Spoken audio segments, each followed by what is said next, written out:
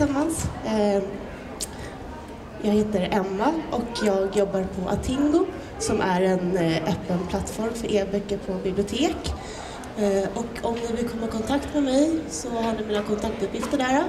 Eh, annars så kan ni komma över till workshopdelen efter min presentation och ställa frågor om ni har några. Så. Och idag ska jag lära er hur man skapar e-böcker. Eh, och eh, att lära sig hur man skapar en e-bok är lite som att ta körkort. Man behöver liksom inte lära sig alla bilens delar för att själv lära sig att köra. Eh, och idag så tänkte jag lära er hur man gör e-böcker med ett enkelt verktyg. Så, eh, vad är en e-bok? Det är en bok i ett digitalt format. Eh, och då kanske ni undrar, ha, vad då för format? Vi har exempelvis eh, pdf, som många av er redan känner till. Och så har vi Mobi som är Amazons format för Kindle. Eh, och sen så har vi Apples iBooks som också är väldigt vanligt. Och sen har vi EPUB. Eh, och EPUB är vad jag kommer att lära er idag och det är standard i branschen för e-böcker.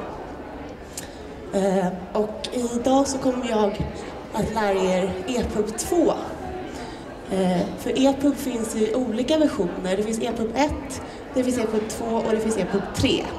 Eh, och EPUB 2 är lite enklare varianten av e-böcker. Och det är det jag kommer att prata om idag. EPUB står för Electronic Publication och det är standard i branschen. Eh, formatet är öppet och fritt. Eh, formatet är också omflödande och det innebär att innehållet anpassar sig efter skärmen och användarens inställningar. Eh, och det är en av grejerna som jag tycker är väldigt bra med e-böcker.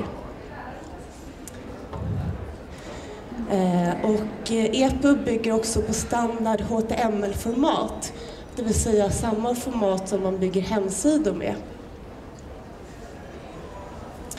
Eh, och här ser ni även några fler funktioner som EPUB stödjer, bland annat DRM som står för Digital Rights Management, det vill säga kopieringsskydd. EPUB stödjer även CSS Style Sheets och det är alltså koden som man ja, bestämmer utseende och färger med. Och eh, man använder även CSS när man bygger hemsidor. Eh, EPUB stödjer även inbäddad metadata, det vill säga eh, beskrivning av boken som titel, författare, eh, ja, genre och så vidare och, så vidare, och, och bilder. Så, eh, för att ni ska få en bättre förståelse av hur en e-bok är uppbyggd så tänkte jag eh, berätta lite om hur den är strukturerad. Eh, och eh, jag tänker inte gå in någon närmare på hur koden ser ut och sådär utan jag vill att ni ska förstå lite hur eh, en e-bok är uppbyggd. Det blir enklare då när man läser Skapa e-böcker. Eh, och kortfattat så kan man säga att en e-bok är en ihoppackad fil, om ni tänker som en zip-fil ungefär. Eh, jag ska visa. Eh, så här ser det ut på min dator. Där har jag en e-bok i EPUB-format och till höger om den så har jag då den upppackade e-boken. Så kan jag visa lite, så här ser det ut i en e-bok. Där har vi metainformationen exempelvis. Eh, ni behöver inte lära er exakt vad det här är för någonting men det kan vara bra att förstå hur en e-bok är uppbyggd. Eh, så går vi vidare.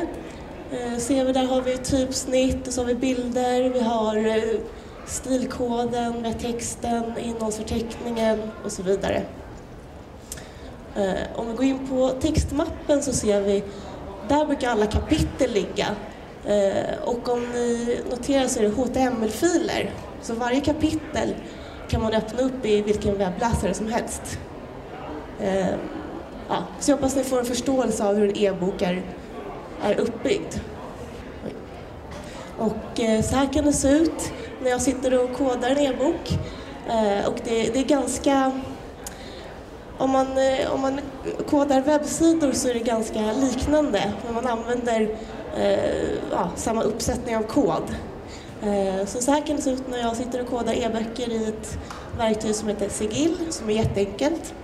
Eh, men eh, jag tänker inte gå in på det här idag. Eh, utan jag tänker visa ett väldigt enkelt verktyg helt enkelt. Och så här ser det ut när man läser en e-bok i en padda exempelvis. Så, men ja. Eh, ni är här för att lära er hur man gör e-bok på ett enkelt sätt. Och helst så ska det vara en knapptryckning bort. Och enkelt och gratis. Och det verktyget som jag tänker visa idag är OpenOffice och tillägget Writer to EPUB. Och det är lika enkelt som att redigera ett Word-dokument. Eh, det första man gör då är att man installerar OpenOffice såklart, det är gratis och det fungerar för PC och Mac. Eh, sen så installerar man tillägget Writer to EPUB, det är också gratis, finns att hämta på deras utvecklingssida. Och sen när man installerar tillägget OpenOffice gör man precis som när man öppnar ett nytt Word-dokument. Och sen infogar man sin text såklart och då kan den se ut så här. Så, så här ser det ut i OpenOffice, ganska likt Word faktiskt. Eh, och det första jag brukar göra när jag skapar min e-bok i OpenOffice det är att jag redigerar formatmallar. Och varför? Jo, det är för att jag vill undvika skräpkod i e-boken. Eh, jag vill gärna att eh, kapitelindelningen ska bli som jag vill. Eller att eh, ja, om jag till exempel vill ha eh, lila färg på min rubrik och så vidare. Och så vidare. Jag vill helt enkelt att e-boken ska vara strukturerad som jag vill. Eh, och då gör man så här i OpenOffice, man går in på format och sen går man in på stilar och formatering. Och eh, jag brukar alltid börja med rubriken. Man kan ju börja med vad man vill när man ska formatera mallarna. Eh, och för att formatera rubriken så ska man använda en formatmall som heter rubrik 1. Och det är då standard för rubriker och kapitelindelning. Eh, och jag kommer förklara det lite längre fram, vad det menas med.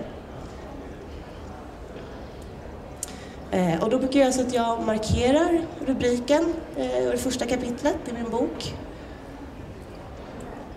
Eh, och sen jag vet inte om ni ser, men det finns en liten knapp längst här till vänster eh, där alla formatmallar ligger. Och det jag gör då är att jag dubbelklickar på rubrik 1. Väldigt enkelt. Eh, och om man vill ändra sin formatmall, exempelvis om jag vill eh, ändra storlek eller om jag vill vänsterjustera eller ändra färger eller vad som helst eh, så gör man samma grej. Man markerar rubriken och sen så klickar man på den här lilla fliken här och så klickar man på uppdatera formatmall. Eh, och nu tänkte jag visa er hur man skapar egna formatmallar. Det är också lika enkelt. Eh, och här har jag bestämt mig för att jag vill göra någonting med brödtexten. Eh, och då gör jag så att jag markerar hela texten Och så klickar jag på fliken längst till vänster här och sen ny formatmall från markering. Eh, och då kommer det upp en ny fönster här och då ska man skriva V2E understreck och sen kan man döpa den till vad man vill. Eh, I det här fallet så har jag döpt den till bread. Eh, lite fantasilöst men man får ju döpa den till vad man vill. Och sen när man har sparat den så hamnar den här bland alla formatmallar som ni kan se där. Eh, och eh, jag vill bara poängtera att det är väldigt viktigt när man skapar egna formatmallar i OpenOffice eh, så ska man döpa dem till V2E understreck och sen kan man döpa dem till vad man vill. Eh, och det är för att eh, Writer to EPUB ska känna av att det här är en formatmall som ska finnas med i e-boken. Eh, det är också viktigt att tänka på att man inte får använda å ä, ö eller mellanslag. För formatet kan inte hantera det. Eh, och det är likadant om man eh, sitter och kodar webbsidor exempelvis. Så kan man inte döpa indexfiler till O, Ä, Ö eller något som blir mellanslag. Så. Här kan jag visa lite mer hur man kan ändra då. Det är samma princip när man ska skapa formatmallar. Man markerar den texten som man vill formatera helt enkelt. Och, eh, här så vill jag göra ordet möjlighet kursivt så att jag markerar texten. Och så klickar jag på kursivt där i fönstret.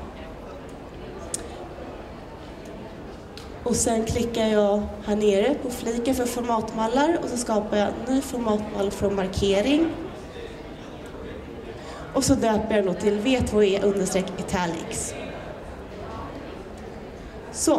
Eh, och eh, nu ska jag visa er hur man skapar ett nytt kapitel.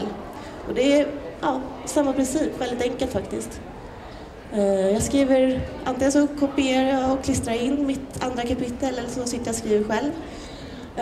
Och det jag gör nu är att jag markerar rubriken på andra kapitlet. Och så dubbelklickar jag på rubrik 1 som då bestämmer kapitelindelningen i e-boken. Eh, och när vi känner att vi är färdiga med vår e-bok, vi har lagt in eh, alla rubriker, eh, innehållsförteckning och kanske har några bilder, eller liknande så är det dags att spara dokumentet och dags att exportera till EPUB. Och eh, det är inte svårare än att man eh, klickar på en knapp helt enkelt. Ni ser längst upp till höger eh, så är det en liten ikon där eh, som är, eh, står för EPUB, det är EPUB-symbolen helt enkelt. Så man klickar på den så kommer det upp ett nytt fönster och eh, jag brukar alltid gå in och titta på inställningar som du ser där. För att kolla så att, ja, exempelvis att eh, Eh, den helt enkelt har rätt inställningar som exempelvis om jag vill behålla eh, bildernas originalstorlek eller om jag vill eh, ja, ändra någonting med rubriken exempelvis. Så, eh, och sen så innan man exporterar så har man även möjlighet att skriva in metadatan eh, som titel, författare, språk, förlag, ISBN, eh, beskrivning av boken. Eh, sen eh, har man även möjlighet att ladda upp sitt egna omslag. Och sen är det bara att klicka på OK när man känner att man är färdig. Efter några sekunder så har man en färdig e-bok. Så så enkelt är det att skapa en e-bok med det här eh, programmet. Eh, och e-boken lägger sig alltid bredvid där man har sparat dokumentet på datorn. Och så här ser det ut när jag öppnar min e-bok i iBooks. Eh, det tog mig ungefär fem minuter att skapa den här e-boken. Så så enkelt är det. Och det ser ganska bra ut faktiskt. Eh, om ni kanske minns innan så berättade jag att rubrik 1 är kapitelindelningen. Och jag ska visa er hur det kan se ut. Och där ser ni ju, eh, när jag klickar på innehållsförteckningen i e-boken så ser jag att det står i första kapitlet och så andra kapitlet. Och då kanske ni får en förståelse för hur man använder formatvallarna i OpenOffice. Hoppas jag. Det är väldigt enkelt. Eh, en viktig grej när man skapar e-böcker är att man validerar koden så att e-boken ser bra ut alla läsare. Och eh, då brukar jag gå in på den här hemsidan som heter validator.idpf.org. Och det man gör då är att man, eh, man laddar upp sin e-bok där och så klickar man på validera.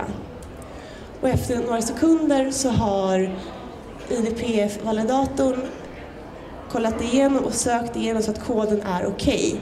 Eh, och om den inte är okej okay så brukar man få en ganska detaljerad beskrivning av vad man måste rätta till. Eh, men i det här fallet så var det inga problem med min e-bok. Eh, och när man är färdig med sin e-bok så är det dags för att publicera. Yay. Eh, innan jag avslutar så tänkte jag ge lite tips på vad man kan lära sig mer om e-boksproduktion. Om ni är nyfikna på att eh, lära er lite mer avancerade funktioner. Eh, och då är det första Liz Castro har en jättebra blogg. Hon har även publicerat några bra böcker om just EPUB. Sen har vi även O'Reilly. De har publicerat väldigt många bra böcker om e-boksproduktion, så det är ett bra tips. Eh, men det bästa tipset jag har är lynda.com som har jättebra videokurser på hur man lär sig skapa e-böcker. Eh, jag har lärt mig jättemycket därifrån faktiskt. Annars, eh, det finns jättemycket information, det är bara att googla. Eh, och det finns jättemycket Youtube-videos som man lär sig att koda och eh, även hur man lär sig att koda EPUB 3 som är ett lite mer avancerat format. Eh, och några sista ord. Tänk utanför pappersboken och fokusera på berättelsen. Eh, för det som är spännande med digitala böcker är att det är ett dynamiskt format så man kan anpassa den för läsaren. Så man behöver helt enkelt, man behöver inte kopiera pappersboken med en e-bok utan man kan lägga in videos, musik, Eh, bilder, animationer och så vidare. Tack!